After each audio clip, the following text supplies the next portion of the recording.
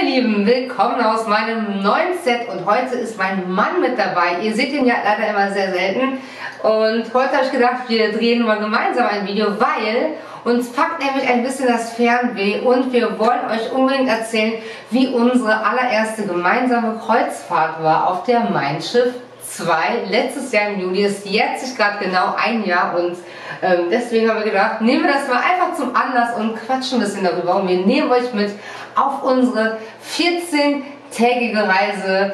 Wie heißt die Kreuzfahrt nochmal? Die Route ähm, Adria. Östliches Mittelmeer plus Adria. Genau. So, und jetzt wünschen wir euch ganz viel Spaß dabei.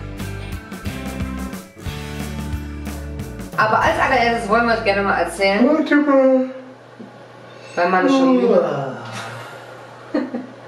So, ihr Lieben, als allererstes wollen wir euch natürlich erzählen, wohin die Reise geführt hat, also die einzelnen Häfen und Länder. Erster Tag, Flug Köln, Malta. Und wir hatten natürlich erstmal einen Seetag, um alles zu erkunden und zu relaxen, was ja echt super entspannt war.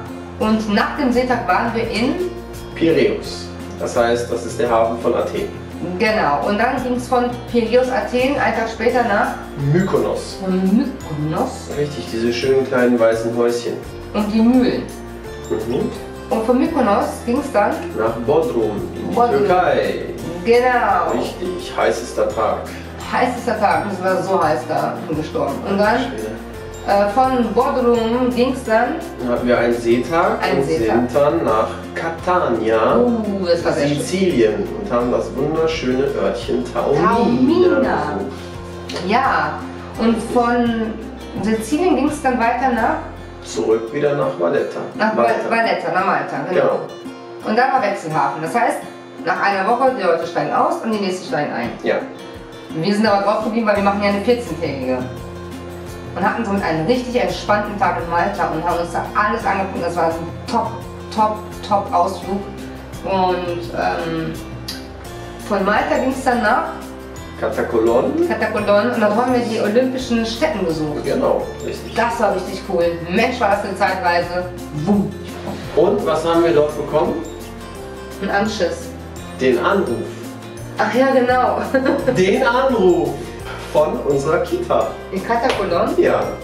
In, in Griechenland. In Griechenland haben Genau. wir einen Anruf bekommen von der Kita, dass wir einen Platz bekommen haben für den Genau. Das heißt, wir hatten dort richtig was zu feiern, weil wir uns echt Richtig. gefreut haben. Genau, sie sind nachgerückt. Denn Noah hat einen Kindergartenplatz. Und ich habe gedacht, ich habe wirklich gedacht, ich habe sechs richtige gewonnen. Ja. Sagt mich gefühlt. Das Ja. einfach so am Strand, am Meer, mit Sand an den Füßen. Das war super.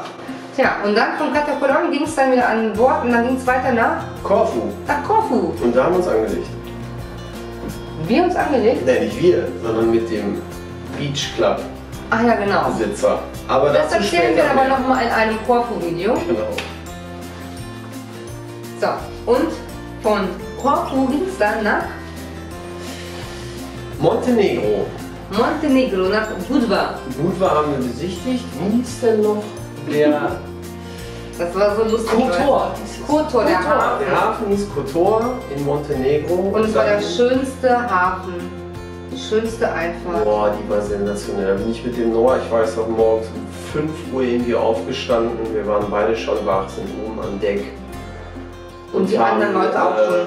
Weil man da in so, wie so Fjorde halt in Norwegen fährt und links und rechts wirklich so die Berge hochgehen. Und also, Hammer. Bilder werdet ihr auf jeden Fall sehen. War Genau, stark, ja. Kotor-Video. Genau. Und dann ging es von dort aus weiter nach Kroatien in den Hafen von Dubrovnik. Genau. Ja, auch sehr, sehr schön. Wunderschön malerisch und eine ganz tolle mittelalterliche Stadt. War aber auch gut heiß da. Das war so heiß da. Altstadt. Das war so heiß. Genau. Und von Dubrovnik ging es dann nach Wieder zurück nach Valletta. Valletta. Vom, von Genau, wir hatten dann wieder einen, einen ein Seetag. Seetag, stimmt. Richtig. Ja, und dann sind wir wieder in Valletta, Valletta. angekommen. und von Valletta dann morgens zurück, ausgeschifft und dann nach Köln zurück. Ja, seht ihr? Und hier sitzen wir. Richtig. Ja. Gestrandet. Das ist krass. Mm, Da machst du nichts. Wir werden aber auf jeden Fall die einzelnen Orte, weil sonst wird das zu lang, ähm, mit den Highlights aus den jeweiligen Häfen und Orten und äh, was wir sogar in Sightseeing gemacht haben, im von Video zu, zu Video für euch ähm, präsentieren, wenn ihr da Bock drauf habt. Okay, lasst es uns wissen. Nämlich, wir lassen jetzt hier mal den Film ablaufen, den ich vorher geschnitten habe. Und nicht, dass ihr euch wundert, dass wir vielleicht mal wieder drauf gucken. Ne? Also, ihr werdet diesen Film aber auch jetzt mit uns gemeinsam sehen. So, hier seht ihr praktisch, wie wir gemeinsam die Koffer gepackt haben, denn wir verreisen ja nicht alleine, sondern mit Kleinkind und hier sind wir bereits im Zug auf dem Weg zum Flughafen. Und weißt du noch, wie Das war eine ganz schöne Schlepperei, muss ich dir sagen. Hier, guck mal, da schiebe ich drei Koffer genau. über den Bahnsteig. Noah hat die ganze Zeit Jetzt schön geratzt. Geratzt, genau. Du warst noch bei McDonalds, weißt du noch? Ja, ja, ich hatte ja voll Hunger. Ja, morgens um, was war das, vier? Da sind wir eingestiegen in den Flieger. Ja. Ja, zum allerersten Mal einen eigenen Sitzplatz gehabt auch. Genau. Davor haben wir ihn ja immer auf den Schoß genommen. Der letzte Flug, wo wir da auf den Schoß genommen haben, boah, da habe ich das echt irgendwann äh, als sehr schwer empfunden. Und jetzt hatte er zum allerersten Mal wirklich einen eigenen Sitzplatz. Und ja, fand das auch, glaube ich, ganz spannend. Da sind wir. Genau. Erste Mal. Da haben wir ein Bild gemacht und da haben wir von oben von Deck 12 ein Foto gemacht und ja. geht es auch schon los. Das ist der Blick vom Schiff auf Malta, auf den Hafen, in Malta, Terminalhafen. Ja. Das war so und abgefahren. Da hinter dieser Mauer, die da entlang läuft am Hafen, sind wir dann mit dem Bus hergefahren und konnten dann mal so zwischendurch durch so äh, Häuserschluchten spinksen und das erste Mal dann auch das Schiff sehen und das war wirklich total überwältigend. Das war mega, ne? Ja, ja also sehr. Ähm, wir, wussten, groß das Schiff so, ne? Ja, wir wussten auch gar nicht, was da auf uns zukommt. Das war das erste Mal, dass wir mal eine Kreuzfahrt gemacht haben und dann auch noch mit Kleinkind und es war ja echt so eine mega coole Reise einfach und ähm, wir haben uns einfach mal getraut, würde ich sagen. Ne? Und das auch noch mit einem Zweijährigen, der, der Noah war damals noch zwei. Ja. Und das Coole war ja, dass wir ähm, so erstaunt darüber waren, wie penibel das Zollamt bei der Kontrolle ist.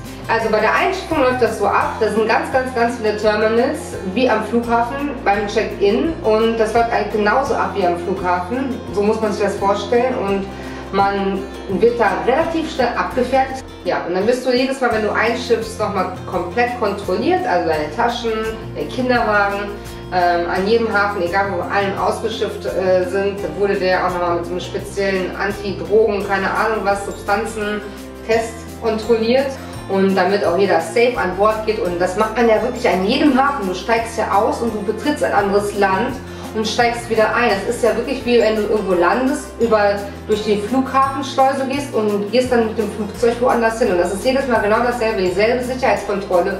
Nur mit dem Unterschied, dass ich das auf der Kreuzfahrt viel, viel krasser fand. Also so wie die da ähm, kontrolliert haben, haben die auch nie auf den, noch nie am Flughafen kontrolliert, fand ich. Nee. So extrem aus. So, auf jeden Fall für uns war es sehr, sehr cool, an Bord zu gehen mit äh, Kleinkind und dieses Video richtet sich ja auch in erster Linie auch an Eltern mit Kleinkind, die sich vielleicht überlegen, eine Reise zu machen und sich unsicher sind. Ähm, schreibt uns einfach in die Kommentare, wenn ihr irgendwelche Fragen habt, die wir jetzt gerade vielleicht nicht beantworten. Ich werde auch im Anschluss dieses Videos, werde ich auch noch ähm, eine Stunde online sein auf Instagram unter diesem Post zu diesem Video und da äh, beantworte ich euch auch gerne alle möglichen Fragen, die euch jetzt nicht beantwortet werden. Und ähm, ja, also wir haben es auf jeden Fall gemacht, wir haben uns getraut, wir sind an Bord gegangen mit einem kleinen Kind. Ich habe mich einfach nur auf den Moment gefreut, nur so auf dieses große Schiff heiß zu machen und ihm das zu zeigen. Das war natürlich total überwältigend, ne? mit ihm das, ja, das entlang zu fahren und ihm das zu zeigen. Und ja, das ist einfach so das. Und Mamas haben einfach andere Dinge im Kopf und das ist ja auch gut so. Und deswegen hast du dann äh, die Facebook Gruppen etwas gestalkt. Genau, habe ich still mitgelesen und ähm, habe auch so mitbekommen, wie sich das verhält mit den Windeln, mit dem Schwimmen, mit dem Kids Club. Und der Kids Club ist, Leute, der ist super. Ich habe in allen Urlauben, wo wir jetzt waren, noch nie so einen Bomben-Kids Club gesehen. Und vor allem, der ist nicht nur was für kleine Kindergartenkinder, sondern auch was für heranwachsende Kinder und Jugendliche. Dann gibt es so eine sogenannte Teens Lounge. Es gibt auch für größere Kinder im Alter zwischen 10 und 14 äh, Jahren irgendwie auch so richtig coole Sachen. Die basteln mit den Kindern, die ähm, machen richtig auch Unterricht, aber so coole Sachen, so, so ein bisschen Marco Polo-Style, von Land zu Land und was gibt es für Sehenswürdigkeiten und ähm, auch angepasst an die Reise und ähm, ich fand das richtig spannend und der Noah, der rannte immer dazwischen durch und fand das total toll und es gibt für allem auch für kleine Kinder auch noch das sogenannte Babynestchen und da gibt es auch so die Kleinkindspielsachen und da hat der kleine Mann sich richtig wohl gefühlt. Also es war auch herzerwärmend und vor allem auch beruhigend für uns als Eltern, ähm, den kleinen Mann da so happy zu sehen und ähm, wir durften ihn noch nicht komplett abgeben, sondern das kann man erst mit drei Jahren machen. Und äh, wenn wir jetzt nochmal zum Beispiel auf Kreuzfahrt gehen, dann können wir ihn auch sogar abgeben. Und das Gute ist ja, der Noah ist ja jetzt auch Kindergarten erprobt. Er war vorher noch nicht in der Kita gewesen, aber jetzt ist er Kita erprobt und dann wird es auch ein einfaches sein, ihn dort abzugeben. Das heißt, dann können auch Mama und Papa auch mal irgendwo chillen oder auch mal einen schönen Landausflug machen und einen Halbtagesausflug genießen irgendwo mit Wandern, mit Biken oder irgendwelche anderen Gletscher, Vulkane und Schluchten erleben. Ja. Captain Sharky. Captain Sharky. Genau, das Maskottchen von der Mein Schiff ist ja Captain Sharky. Richtig. Und dieser Captain Sharky rennt da immer rum in so einer Living Doll Kostümgeschichte und der macht das. ist natürlich ein super Job, ne? Wenn ja. er irgendwie so im Sommer bei Valletta 35, 40 Grad dann damit so einem Kostüm durch die Gegend rennen muss. Also Kompliment erstmal an denjenigen, aber die bemühen sich da wirklich so sehr und machen das so professionell auch. Also ähm, ja, also die Kinder sind da wirklich sehr, sehr gut aufgehoben. Ja, und die gehen auch mit den Kindern essen. Machen sie eigene Ausflüge? Die machen eigene Ausflüge mit den genau. Kids, wenn man das möchte als Eltern, kann man die Kinder dafür anmelden. Mit den ganz Kleinen glaube ich nicht, sondern nee. ab einem gewissen Alter. Und da können die Eltern auch mal was alleine machen, ne? Und vielleicht auch mal eine Abendveranstaltung besuchen. Genau. Weil der Kids Club hat ja bis 10 Uhr geöffnet, richtig? Genau. Das heißt, Eltern können auch mal abends gemeinsam in Ruhe was Leckeres essen in Ruhe. Oder äh, mit dem Kind gemeinsam was essen, das Kind dann nochmal vielleicht abgeben und dann nochmal eine Show besuchen. Ja. Das haben wir nämlich nicht gemacht. Nee. Wir waren nicht ein einziges Mal und Leute, ich sag's euch, wir waren 14 Tage auf Kreuzfahrt. Wir haben es nicht einmal geschafft, eine Show zu besuchen, weil wir natürlich ein kleines Kind hatten und waren auch dementsprechend auch abends dann irgendwann mal ähm, entweder auch in der Außenalster war. Ich werde euch da mal ein Bild einblenden und die Außenalster, das war so ein bisschen so unser Favorite Place und ähm, oder auf Deck 4 oder 5 oder was das war, hinten auf dieser wo man sich so schön ablegen konnte in diesen runden Sesseln, weißt du? Ja. Das ja. war auch ganz, ganz chillig und. Recht äh, nah an den Schiffsschrauben, wo man das so gehört hat und so, und es ist Meeresrauschen und das war. Das war ganz haben sich abends die Leute wirklich auch versammelt, kann man sich auch zurückziehen und haben dann auch oft so den Sonnenuntergang ja, beobachtet. Also es war richtig super. Aber wir waren natürlich auch abends oft dann schon äh, früh auf äh, unserer Kabine. Wir hatten ja eine Balkonkabine. Genau. Und dann konnte man abends da auch einfach sehr, sehr schön sitzen nochmal und so den Tag Revue passieren lassen. Der kleine Mann hat dann in seinem Schlafen. Bettchen geschlafen und wir konnten dann noch ganz entspannt auf dem Balkon sitzen. Ja, ja. und da haben wir noch einen leckeren Espresso-Kaffee getrunken. Oder wir, wir saßen sehr lange in der Außenalster sehr lange, oft teilweise bis 11 Uhr oder so. Ja. Der nur an seinem Kinderwagen hat dann geratzt. Und was ich so erstaunlich fand, ist, dass der nur auf dieser Reise richtig gut geschlafen hat. Wahrscheinlich durch das Meeresrauschen und diese Meeresluft und keine Ahnung, aber auch wir haben richtig gut geschlafen auf dieser Reise, weißt du noch? Ja. Das ist ja immer so eine Sache, wenn man im Urlaub ist und fremdes Bett und anderes Kopfkissen. Aber selbst wenn man Kopfkissenprobleme hat, geht man einfach in die Rezeption und sagt, ich hätte gerne anderes Kopfkissen, härter, weicher Mittel und das riecht man dann auch. Alleine so dieses Meeresrauschen und dieser Weitblick, den man da einfach hat, das ist so entschleunigend und ähm, beruhigt total. Das hat uns total geflasht. Nach diesen 14 Tagen von mit einem mega Smile im Gesicht und ja. denken echt immer nur mega geile Reise. Und äh, auch heute noch ist es bei uns fast täglich irgendwie, sprechen wir drüber, also wir zehren dann immer noch von. Es ist einfach so toll gewesen. Es ist top organisiert. Also das muss man wirklich sagen, die TUI ist wirklich top organisiert, ob es die Landausflüge sind, ob es die Restaurants sind. Also es ist jeder Mitarbeiter, ich habe nicht einmal etwas Negatives erlebt, die sind alle, die sind super cool drauf, die sind witzig, die sind sehr zuvorkommend. Also auch wir gerade mit Kind, wo du immer wieder denkst, so, boah, hoffentlich, vielleicht stören wir die Nachbartische oder sowas. Es ist immer genug Platz zum Nachbartisch. Ob wir jetzt im Atlantik-Restaurant waren oder ob wir jetzt ähm, im Ankelmannsplatz waren mit Noah. Ähm, Was immer ganz praktisch war für uns mit Noah in einem Buffet-Restaurant, da sind wir meistens direkt nach dem Sonnenbaden mit ihm da kurz rein.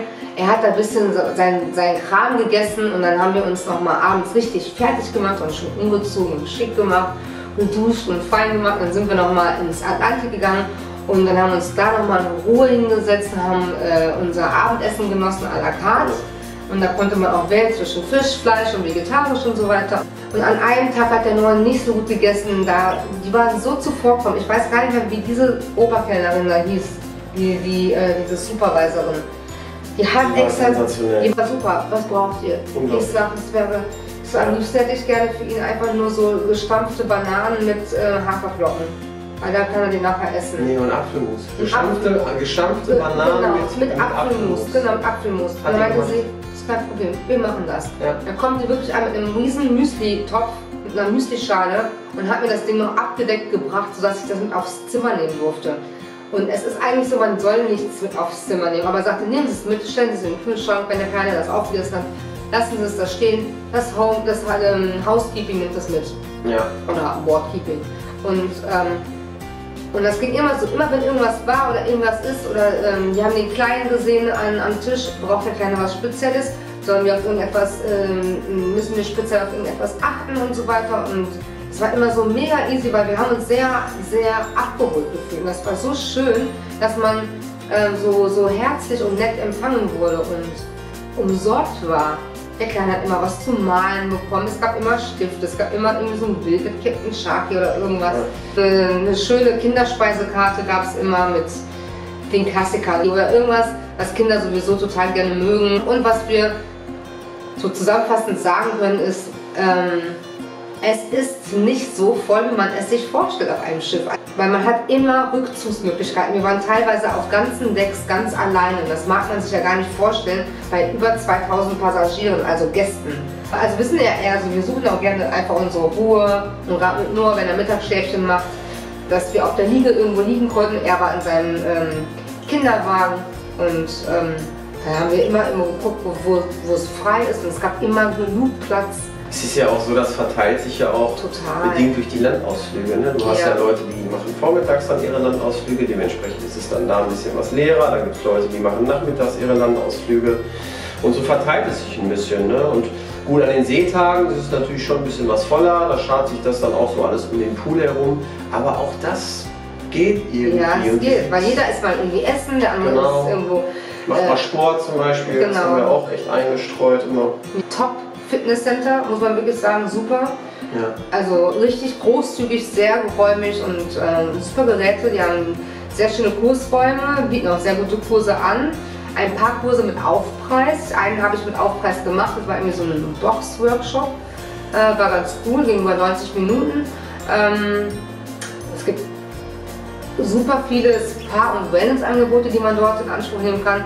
Haben das alles irgendwie gar nicht gemacht. Ja, also wir haben weder irgendwelche Spa-Geschichten in Anspruch genommen, noch irgendwie Sauna, weil immer einer ja beim Kind sein musste. Und ähm, das ist aber dann der Vorteil, wenn er jetzt drei ist und wir dann nochmal aufs Schiff gehen, dass wir dann auch mal Dinge gemeinsam zusammen genießen können. Weil so machen wir immer halt abwechselnd im Gym, der, der andere beim Kleinen. Wenn man es wirklich darauf anlegt, kann man wirklich den ganzen Tag von morgens bis abends irgendeinen Workshop machen, ob es jetzt irgendwie ein Sushi-Workshop ist oder ein Koch-Workshop ist oder irgendwie was Künstlerisches oder Bilder gestalten, ob es äh, ein Foto, ein Foto-Workshop gab es auch, wie man seine Kamera richtig einstellt, weil man sah wirklich sehr, sehr viele Spiegelreflexkameras auf der Reise, natürlicherweise, ist ja klar, logisch.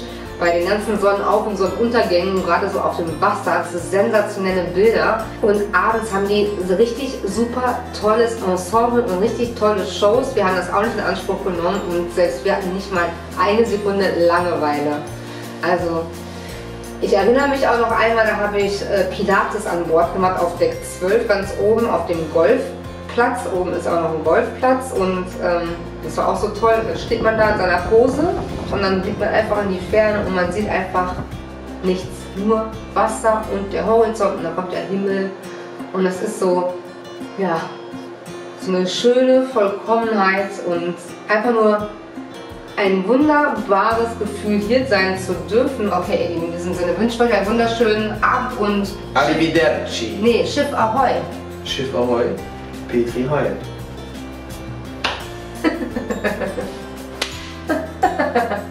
So, äh, muss da ein Mikro dran eigentlich? Ja. Die ganze Zeit? Nein, wir sitzen ja nah dran. Achso. Aber ich hier gerade. Es wäre natürlich besser gewesen, weil ja. wir heilen ein bisschen. Ja. Aber naja. Aber Und was laut ist, ist der Server. Der wird uns richtig stören beim Bild. Weiß ich jetzt schon. Ja.